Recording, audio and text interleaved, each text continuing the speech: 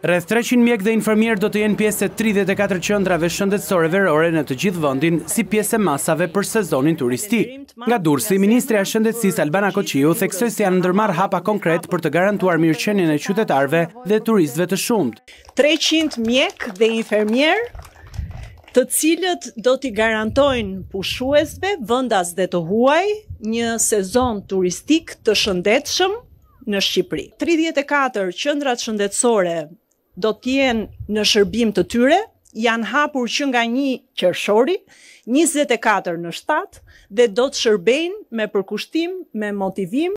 Ministrja e Shëndetësisë shtoi gjithashtu se në dispozicion të pushuesve përgjatë gjithë sezonit turistik do të jenë edhe spitalet rajonale për çdo urgjencë.